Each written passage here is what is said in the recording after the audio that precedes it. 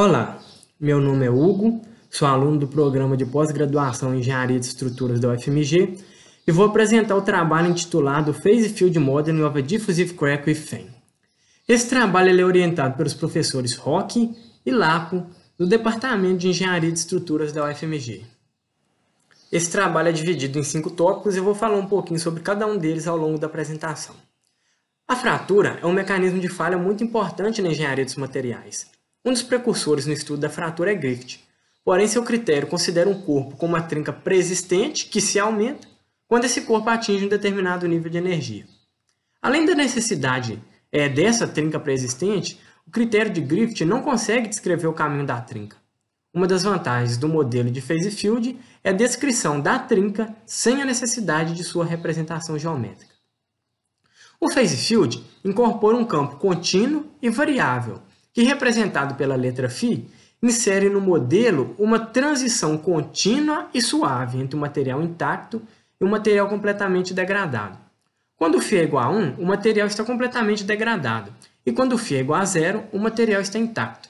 Conforme podemos ver na figura abaixo, considerando o ensaio de tração axial numa barra, o critério de Griffith é a primeira figura, que considera uma degradação da trinca somente na região central, com o material da vizinhança intacto. E a segunda figura representa o phase field, que considera a degradação como uma variação suave e contínua. O phase field também introduz um parâmetro L0 que relaciona o quão, o quão grande será essa região de degradação. Esse trabalho apresenta algumas técnicas de implementação do phase field no Insane, que é um software livre do Departamento de Engenharia e Estruturas da UFMG. É, é, importante falar também que, ao se tratar de phase field, é encontrado na literatura os termos isotrópicos e anisotrópicos.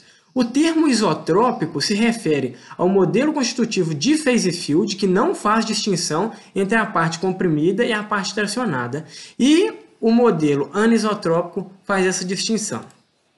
Os modelos de phase field possuem algumas funções que são chave do seu funcionamento. Temos a função γ, função densidade de trincas, que representa a distribuição das trincas ao longo do corpo.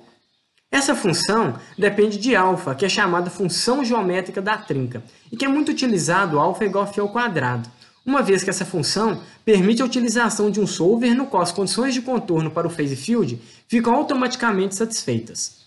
O parâmetro C0 depende diretamente de alfa por meio dessa integral. Assim sendo, no funcional de energia, a parcela devida à trinca é calculada como integral no volume dessa função gama multiplicado pela energia de fratura. A energia de deformação é degradada pela função de degradação de energia, função G. Essa função é responsável por degradar a parte da energia que vem da tração. Lembrando né, que nos modelos isotrópicos não é feita essa distinção entre parte comprimida e e então essa função g acaba degradando toda a energia. A tabela e gráfico apresentados representam alguns exemplos de função g, e conforme podemos perceber, ela deve satisfazer algumas propriedades, como g de 0 é 1, é g de 1 é 0. Essa função deve ser monotônica decrescente e não deve apresentar variações bruscas é, na interface entre material intacto e material degradado.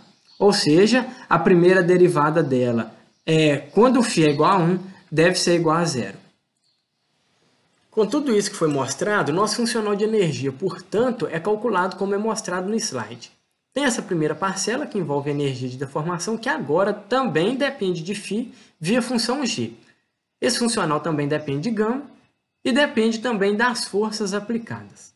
A partir desse funcional de energia, pode-se demonstrar o sistema de equações 5 como a forma em elementos finitos do problema. Observe que a primeira equação já é conhecida do método dos elementos finitos e que o phase field insere uma equação adicional no problema. Existem duas abordagens para solucionar o problema do phase field. Temos o solver monolítico e o alternado.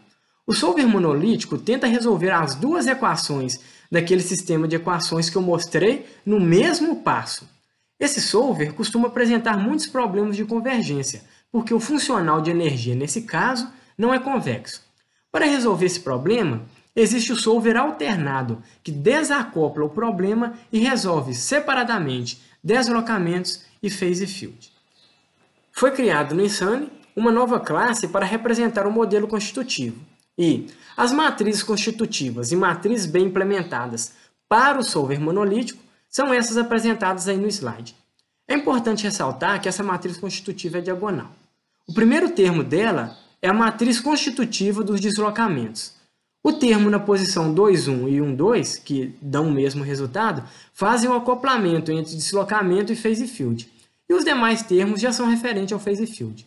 O tensor dual, aí chamado de sigma, também está apresentado.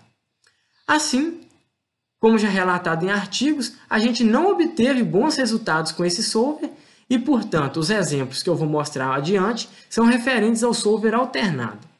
O solver alternado, ele desacopla esse problema e ele resolve separadamente phase field e deslocamentos. As matrizes constitutivas e B implementadas para o solver alternado são essas daí apresentadas. Percebam que, para resolver a parte referente aos deslocamentos, é feito tudo conforme o método dos, dos elementos finitos tradicional já fazia. E, para resolver a parte do phase field, é utilizada as matrizes constitutiva e matriz B apresentadas em 7. Todos os resultados obtidos que eu mostrarei em seguida utilizaram as funções g igual 1 menos φ quadrado e alfa igual a φ quadrado. Além do comportamento estrutural, o comportamento material também foi investigado, e o valor da tração máxima foi comparado com o valor teórico dado por Vu através da fórmula da equação 9. O primeiro teste realizado trata-se de um ensaio de cisalhamento com uma trinca inicial, conforme podemos ver na figura. Foi utilizada uma malha de 100 por 100 elementos e obteve-se essa curva fator de carga versus deslocamento. Para o teste do material, foi feito um ensaio apresentado e gerou-se essa curva fator de, fator de carga versus deslocamento. Utilizando-se a equação de Wu, é calculada a tração máxima como 1.412 kN por milímetro quadrado, uma diferença de apenas 2,2% com o valor máximo obtido pelo gráfico. Esse é o vídeo mostrando a evolução do phase field com a carga e o que se pode notar aqui. Por se tratar do modelo constitutivo isotrópico, que não faz diferença entre tração e compressão, nós vemos um resultado com a trinca crescendo, tanto na região comprimida quanto na região tracionada.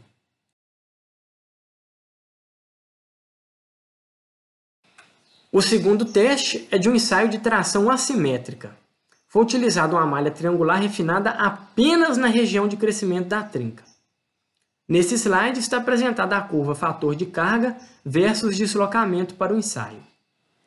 Para o teste do material, foi feito um ensaio apresentado e gerou-se essa curva de fator de carga versus deslocamento.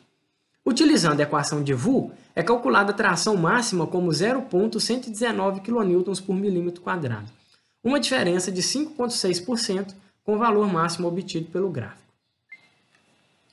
E aqui a gente pode ver a evolução é, do phase field de deslocamento com o incremento da carga.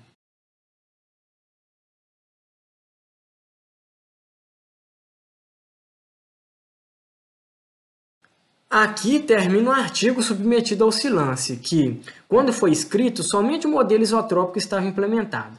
Agora já temos modelos anisotrópicos implementados e esse vídeo representa o mesmo teste de cisalhamento analisado pelo modelo constitutivo anisotrópico de Mier.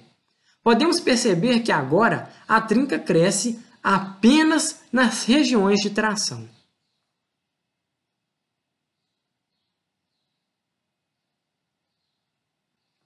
Assim sendo, fica aqui o meu agradecimento a todos e também aos órgãos de fomento à pesquisa.